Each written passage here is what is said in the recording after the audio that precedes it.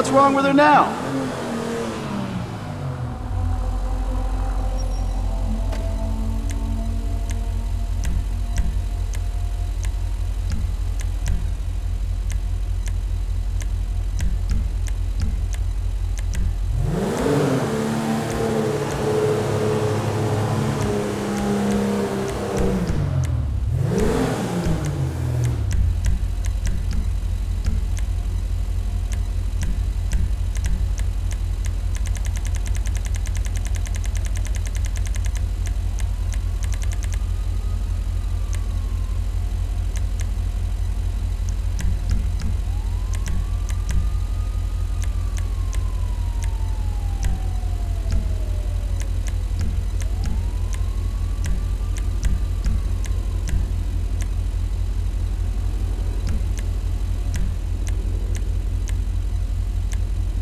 That's a beauty right there.